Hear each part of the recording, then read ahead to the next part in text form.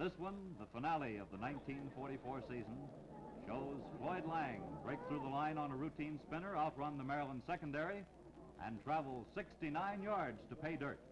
The Lions took the decision 34-19.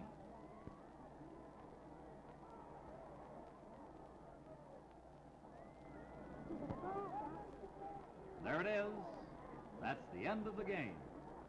The season, and if I'm not mistaken, the goalposts. They'll make mighty fine fuel for the victory bonfire.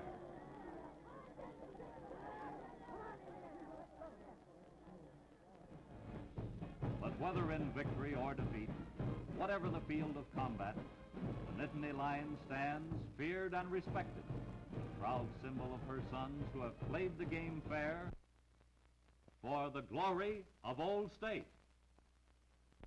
Oh.